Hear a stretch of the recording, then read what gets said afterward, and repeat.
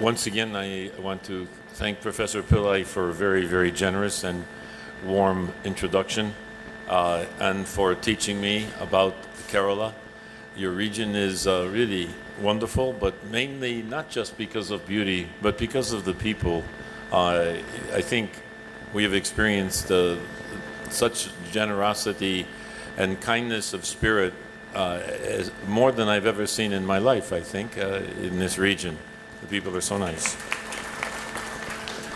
Uh, I know there's uh, time constraints, so I may have to talk a little faster than I thought, but try to bear with me. What I present is not complicated. It's not details of our work. I did a little more of that yesterday, talking about the story of HIV and how it evolved in our laboratory, etc. But today I'm going to speak more generally with just a few overlapping slides from yesterday. I'm going to try to go through some of the dangers of viruses today and then really focus on what Professor Pillai introduced to you, the Global Virus Network. But first, let's start with very basic stuff that would go to a medical students. Microbial pathogens. We want to focus on viruses, of course, and the only purpose of this slide is to remind you of how small they are and that you, as you all know, you cannot see a virus by standard microscopy. We need the electron microscope for a 50,000 or more fold magnification. The other purpose of this slide is again a reminder to say that unlike other microbes, viruses do not have any metabolism. They're just pieces of genetic information covered by protein layers for protection. Therefore, a virus is what we refer to as an obligate intracellular parasite, meaning they replicate, they reproduce only through using our cellular machinery, proteins, enzymes, etc. Yes, yes, they carry a few genes of their own that are essential in the virus replication cycle. It is important to recognize that it was thought that one could never treat a virus because it doesn't have a metabolism, such as a bacteria, a fungus, a, a, a protozoan parasite, and so on. So how could you ever treat a viral disease? With HIV and AIDS, we have a medical history in that we learned from molecular biology that we could precisely define the steps in the replication of a variety of viruses, including retroviruses, which HIV is. And so we were able to specifically target, like a laser beam, a step in the virus's replication cycle. This led to the great therapy we have for HIV and AIDS today and has opened the door to the treatment by, with the pharmaceutical industry rushing into the field now uh, of other viral diseases. I mentioned yesterday hepatitis C virus, which is a significant problem for the whole world. It is estimated that in the next few years, we won't see it anymore. It will be cured. This is due to drugs uh, that are coming from a few pharmaceutical companies, especially one called Gilead. And I, it's uh, happy for me to say that another, uh, another native of Kerala we just recruited to our institute and is a tremendous expert on the clinical science of hepatitis C virus. His name is Shyam Kottilil. Uh, and I repeat again, hepatitis C virus should not be a problem in another three or four years. We think in the next few years, for example, it should be pretty much wiped out in, in the United States. Though there's no vaccine, if you're infected, there will be curative therapy. Virology went through different periods, of course, like any science. We can divide the periods according to technological advances. At the beginning, the 18, late 1800s to really several decades into the 20th century, the only way we knew about a virus is if we took a tissue from a person who had a disease and you made extracts of the tissue, you filtered it so that anything as large as a bacteria or a fungus or a parasite would be excluded, and what came through the fil filter, the filtrate, when inoculated into some animal, produce disease. Now, that's not a very good way of looking for a virus because most viruses may not infect the species that you're using as your test animal. But that was the beginning of virology. In fact, the name virus comes from the Romans, from Latin. It means poison. That's it. And then we had electron microscopy around the 1940s, and that allowed us to see viruses for the first time. That is, if the virus genes were fully expressed and the virus fully formed. But it's not a very sensitive technique. It's very limited to who has an electron microscope and who has the expertise to see the virus. And again, I repeat, it's not at all sensitive. By the 1950s, we have a new era. This is simultaneously immunological approaches to define virus infections, including antibodies, specific antibodies in the serum of an infected person, but also antibodies that could determine the kinds of proteins making up the virus. Biochemical techniques allowed us to determine that, the, that viruses had either DNA or RNA. In time, we would learn that it was either DNA or RNA that was their genetic information. Around the same time, the, the technology of tissue culturing developed. This means we could grow viruses in cells in the laboratory under culture conditions with the proper nutrient broths. Roughly the 1970s, early 1970s, begins the current era, the era of molecular virology. And this, as I mentioned already, allowed us to determine the very steps in the virus reproductive cycle, the replication cycle. Large-scale viral infections can be of three types. When we refer to an endemic infection, we mean a virus that's been in a population for a long time. It's endemic in the population. It, nothing new is occurring. It's the standard disease, the standard percent, the, about the same. Epidemic simply refers to the development of a higher rate of infection of something we know about or maybe something we don't yet know about, like when AIDS came. Pandemic is when it becomes global, of course. Now, how do you get a new virus infection? What, when something new comes, how does it happen? Almost always, it's enzootic infection. That is, it went from an animal to man. The case of AIDS and HIV is a case in point. HIV came into man from African chimpanzees in rainforests about 100 to 150 years ago.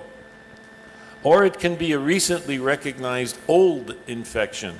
For example, the leukemia virus uh, that was referred to in the introduction, the human T-cell leukemia viruses number one and number two that we discovered in the late 1970s and reported in the early 1980s.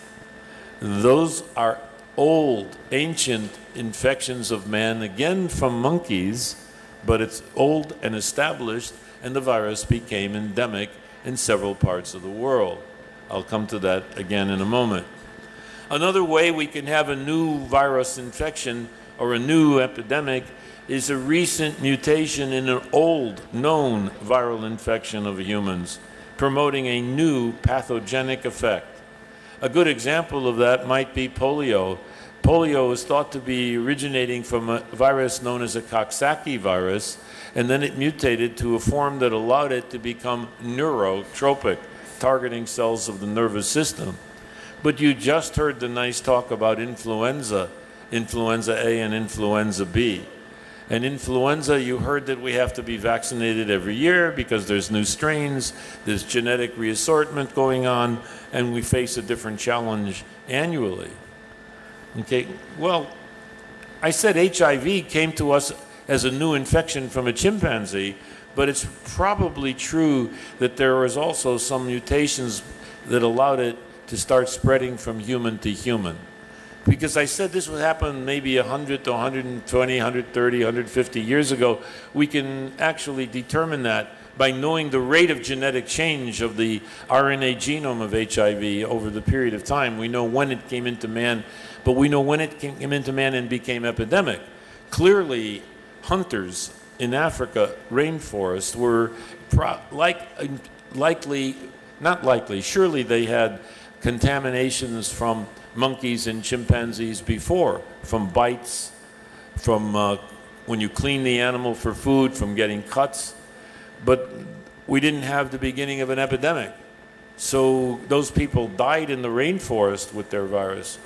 Or the virus didn't mutate enough to be sufficiently infectious from human to human. So it's possible there was also a key mutation that gave rise to the AIDS epidemic uh, in that period.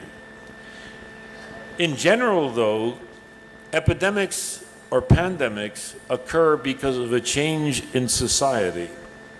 Always think about change when you face a new problem. For example, in the Roman times in Europe, in the Mediterranean, when the Romans opened up new ports in the Mediterranean Sea, there were new epidemics.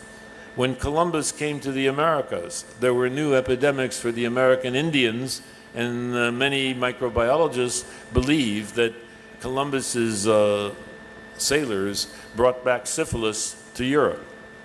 Air conditioning gives rise to Legionnaire's disease. Climate changes and movement of populations, the medical use of blood, air travel, like me coming here from the United States, and other new ways for people and insects to get around. I said a great example is HIV. Post World War II, what did we have? We had much more travel by, for tourism, increased sexual contacts, the global development of intravenous drug abuse, the insanity of that, and medical blood, blood products moving from one nation to another nation. For example, in Japan, they don't use their own blood. They use blood from the United States or Europe. And I witnessed the Japanese epidemic in hemophiliacs going from nothing to 20% of the clinic in Tokyo in a matter of just three months from using foreign blood. The three great pandemics in the in the 20 three of of the great pandemics in the 20th century I highlight here were influenza of 1918, 1919, polio of 1950s, and AIDS beginning was recognized in the 1980s, though the epidemic was often running certainly by the 60s and 70s. In it, my experience with HIV and reading the history of polio and influenza gave me the view that we humans have only a 25 to 30 year memory span. The influenza epidemic in 1918, 1919, people were talking about before that epidemic occurred that we should be studying only chronic degenerative diseases. Ironically, some can be caused by viruses. But in other words, the age of serious epidemics was over. And then if you read the history of polio, uh, the, there's a book by a man named David Oshinsky, historian from uh, New York University uh, described exactly the same thing in the early 1950s when polio epidemic was appearing in America. Just before that, the arguments were we should forget about serious epidemic diseases because they're no longer a problem. They're only a problem for those people. What people? People in the tropics. There was no real interest anymore. That was the feeling today that would be very politically incorrect, but it was also very wrong. HIV, when it was first recognized in the United States by clinicians on the East and West Coast in 1981, uh, I can tell you that in the 1970s, again, the lessons of the previous epidemics uh, were forgotten. The previous epidemic being polio, again, about 30 years later. So we had the following attitude, oh, excuse me, we had the following attitudes that serious epidemic diseases are over in the industrialized world. Therefore, we can forget about them. If you want evidence for that, in the United States, some famous medical schools terminated their departments of microbiology. There was also a strong bias that certain types of viruses, such as retroviruses, do not infect humans and that there were many reasons for this. I bring that up because this was a period that I kind of suffered. Because in the 1970s, we were getting evidence that retroviruses might be present in humans. This was an extremely unpopular notion. That is a good discussion for students, not so much for you, to highlight the fact that my first paper on the discovery of the first human retrovirus, the leukemia virus HTLV1, was rejected. I have the letter in a frame on my wall, more or less telling me, go away, everybody knows it's not true. So that was uh, interesting. And the third point is that no viruses cause cancer in humans or even plays a role in any human cancer.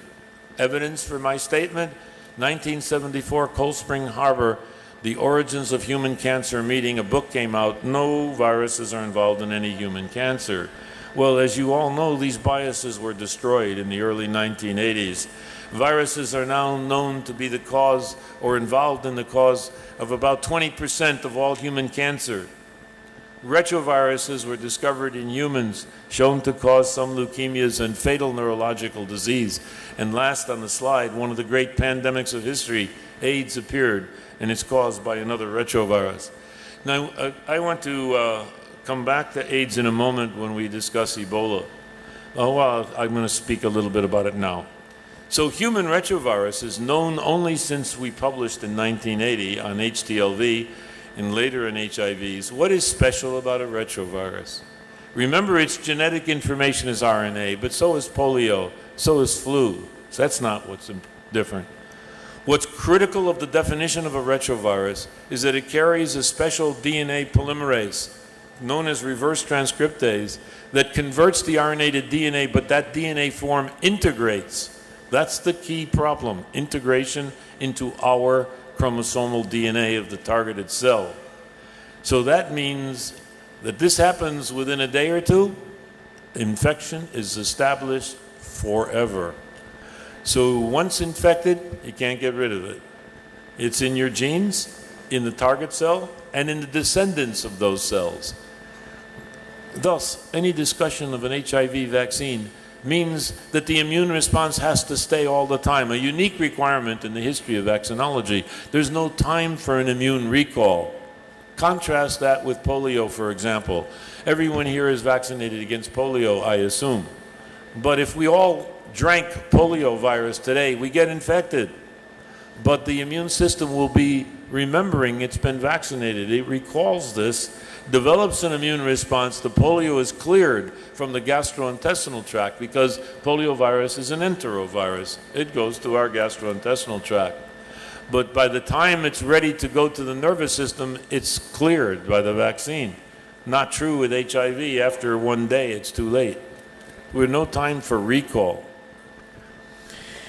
HTLV1 and 2 cause diseases, but HTLV1 much more. They cause adult T-cell leukemia and also a fatal paralytic disease, formerly referred to as tropical spastic paraparesis. They can also cause modest immune deficiency, immune dysregulation that sometimes also can lead to some autoimmune disease.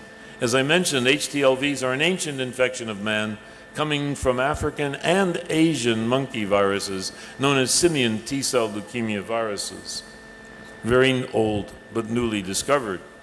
HTLV is endemic in Japan, especially the south, in Iran, in Aboriginal Australians, in natives of Indonesia, some of them, in good parts of equatorial Africa, in African descendants in all of the Americas, in South America in black and native populations, especially Brazil, Colombia, Venezuela, and Peru, but low prevalence in most of the rest of the world, though in many regions it has yet to be fully studied.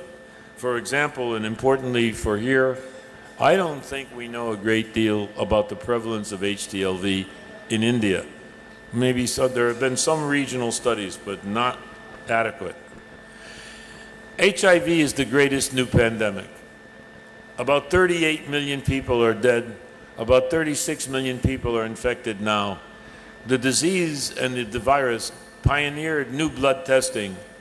It was nice to hear my colleague Dr. Sarngadharan from Kerala mention he was critical, my critical co-worker in the development of the HIV blood test. Also, HIV research pioneered antivirus therapy, proving that a virus could be targeted if we are sufficiently intelligent. Yet, many people are infected without knowing it. In the United States, the CDC says that about 20, 20% of all HIV infected people don't even know it. Another 20% do not adhere to the medication, so this is not a solved problem even in America. It's certainly a significant epidemic in the African American community, and it returns in some of the gay men in the West Coast and elsewhere. On, in parts, it's on the rise again. But in African Americans in the cities of the East Coast of the United States, it's still a very serious epidemic. The biggest need for therapy continues to be sub-Saharan Africa. Other high infection rates, I already mentioned, some of the American cities, some parts of Eastern Europe. A vaccine is still not developed. We have a candidate sponsored by the uh, Gates Foundation that will go into the clinic uh, in about five, six months from now. Uh, and uh, do I think it's going to work? I think it's important to do clinical trials to show safety, but we know there are problems of having the antibodies last sufficient periods of time. That's a problem for the field in general. It's not the variability of the HIV that causes us the problem. It's this darn integration problem. So we have more basic science to be done. Okay, now let's move on to some other things. I, I, I should welcome my sponsor, Azad. I, I should say I, I thank my sponsor. That was you. You weren't here at the beginning, so I didn't mention it, but now I will. okay. So, an issue is, could we have done better? The late Jonathan Mann of the WHO said that HIV AIDS research was the fastest progress in the history of medicine from the beginning of a new disease, a mysterious new disease, cause unknown, very mysterious. So we knew the beginning of the disease in 1981. When Jonathan Mann made his statement, it was 1985. Well, what did he mean by that statement? We found the cause, we developed a blood test, all the genes of the virus were sequenced. The first time an infectious agent, we had the full genomic sequence. We knew all the proteins. We knew its target cells. We knew how it was transmitted. We knew the epidemiologic risk factors. And therapy, for the first time in the history of virology, began to be developed. Indeed, that was very impressive. But I believe that though we were technically prepared, we were not prepared conceptually.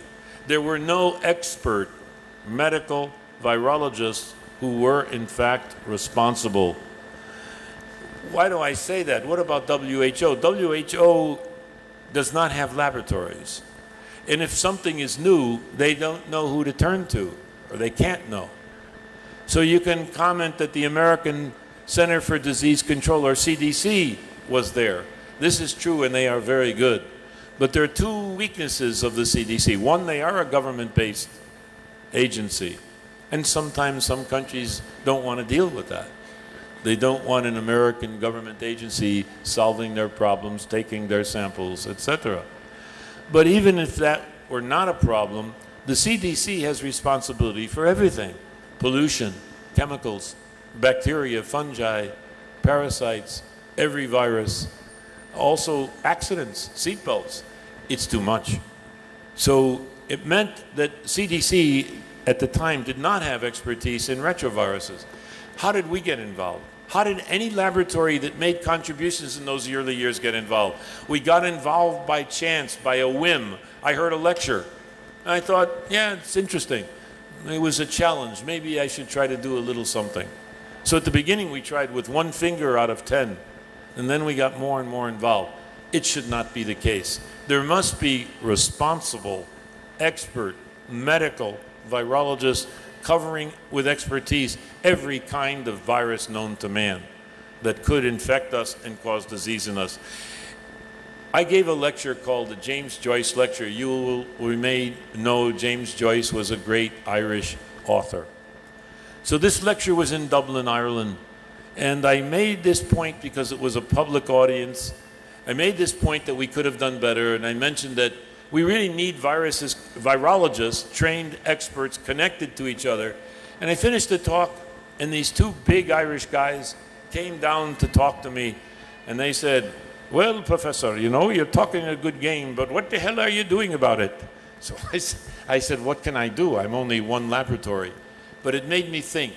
And that evening, my thoughts turned to the possibility that we could make a global virus network or GVN. And that's the story now to go into for the rest of the talk. The origin of the global virus network, I've already given it to you. Early days of the AIDS pandemic, CDC AIDS Director James Curran, now the Dean of Emory University in the United States, was looking at me and he said, Where are the virologists? So he was already thinking of a new virus. But there were many, many theories as to the origin of AIDS. But that statement got me into the field, just by chance. The world needs assurance of available, each word is important, available expert responsible viruses that cover the full range of pathogenic viruses. They should be available for consulting to governments, available for the consulting to NGOs, to hospitals, etc. And when needed, they should be available for active research. They should be uh, also deeply involved in the training of future medical virologists, which, strangely enough, medical virologists are on the decline in numbers in most areas of the world. The threat of outbreaks is constant. Again, you heard a lecture, a nice lecture on influenza A and B, so I'm not going to say more about it. But influenza is a danger every year of a potential serious epidemic. You never know how bad it's going to be. You all know the stories of SARS. China was not prepared. Today, China would be prepared because there's a GVN and a significant one in China. But if the Chinese GVN does not have expertise in respiratory viruses of a new kind and didn't know what to do, the global network would provide expertise that quietly would help the Chinese, and the Chinese GVN could then help their government. It doesn't have to be any awkwardness or embarrassment that you're relying on another country if you have your own GVN center. You know the recent outbreak of MERS, Needless to say, you know about Ebola, and I'll come back to it. Dengue, norovirus, chikungunya, HIV, a great number of encephalitis viruses, a great number of hemorrhagic fever viruses, not just dengue. This is the declaration made at the beginning of the Global Virus Network. It was held in the Italian Embassy in Washington, D.C.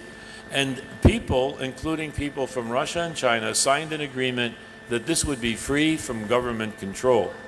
So look at the bottom part, seeking to improve the immediate responses to emerging viral threats, to train future generations of medical virologists, to advise governments or non-governmental organizations on virus diseases and threats and their control. It fills a critical need in international health for today and into the future. Now, I don't want you to think that the GVN is a surveillance. We're not big enough nor funded to become a surveillance to find out what's cooking all over the world.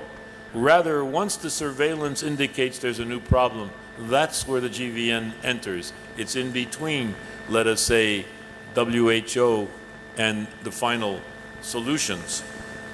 So that was the beginning. The mission, again, to strengthen medical research in response to current viral causes of human disease to prepare for new, new viral pandemic threats or epidemic threats, local threats, it meets its mission three ways.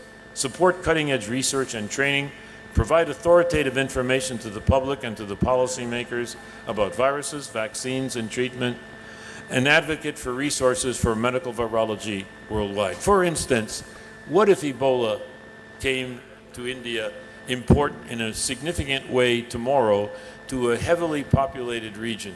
That would be a little frightening, right? But there are vaccines available now. It's not really that known in the newspapers. There are good vaccines. Ebola is not a complicated virus. The vaccines should work. They work in monkeys. They work well, at least three of them that I know of. And the GVN could tell you, take that vaccine, not this one. And what's the delay right now? The delay is that nobody licensed the vaccines because there wasn't any market for it. But governments, if GVN in the future, more aggressive, should say government